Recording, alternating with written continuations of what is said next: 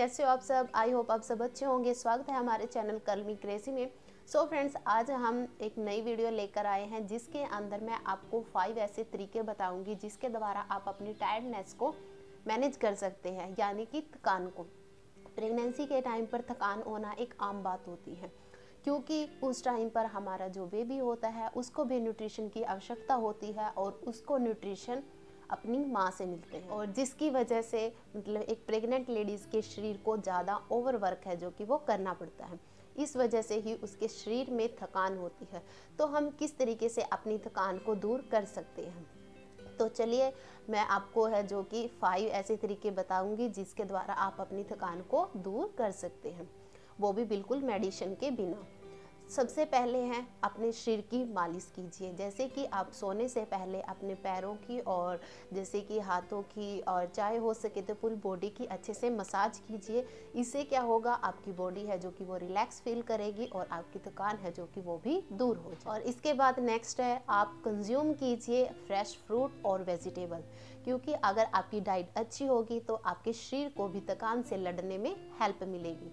और डाइट से आपके जैसे कि जो न्यूट्रिशन होंगे, वो भी आपकी बॉडी को मिलेंगे और आपके बेबी को भी मिलेंगे, जिससे आपका बेबी है जो कि वो हेल्दी और स्वस्थ होगा। और इसके बाद आते हैं नेक्स्ट हम किस तरीके से अपनी थकान को है जो कि वो दूर कर सकते हैं। सो so फ्रेंड्स हमें अपने जैसे कि जो वाटर होता है, उसको एज अ फ्रेंड बनाना चाहिए और छोटे छोटे जैसे कि थोड़ी थोड़ी अमाउंट में धीरे धीरे है जो कि वो पानी पीते रहना चाहिए। क्योंकि प्रेगनेंसी के टाइम पर हमारी जो बॉडी होती है, वो डिहाइड्रेटेड हो जाती है और इसलिए हमें पानी की ज़्यादा सख्त ज़रूरत पड़ती है ताकि हमारी बॉडी है जो कि वो हाइड्रेट रहे और अगर हमारे शरीर में पानी की पर्याप्त मात्रा होगी तो हम और भी ज़्यादा एक्टिव रहेंगे। तो और क्या हो सकते हैं जिसके द्वारा हम अपनी थकान को दूर कर सकते हैं? जैसे कि हमें रात को प्रॉपर नींद लेनी चाहिए और क्योंकि प्रेगनेंसी के टाइम पर एक अच्छी नींद लेना मुश्किल होता है तो ऐसे में आप जैसे कि अपने पैरों की अच्छे से मालिश कीजिए और अपना जो कि जिस पर आप लेटे हैं बिस्तर पर, वो कंफर्टेबल हो और साथ में आप जैसे कि साइडों में पिल्लो भी लगा सकते हैं जिससे कि आपको जैसे कि लेफ़्ट साइड रेटने में है जो कि दिक्कत ना आए। और इसके बाद नेक्स्ट आता है कि हमें अपने जैसे कि दिनचर्या में हल्के फुल्की एक्सरसाइज या व्यायाम है जो कि वो ज़रूर करने चाहिए ताकि हम थोड़े से एक्टिव बने रहें। और सबसे इम्पोर्टेंट है जैसे कि आप जो भी दिन के अंदर काम करते हैं तो उसके बीच बीच में थोड़ा सा आराम ज़रूर कीजिए। चाहे आप चेयर पे बैठिए या फिर लेटिए, जैसे भी आपको ठीक लगता है, जिससे आपकी बॉडी रिलैक्स होती है, उस तरीके से आप अपनी बॉडी को है जो कि थोड़ी थोड़ी देर बाद है जो कि रिलैक्स करते रहिए।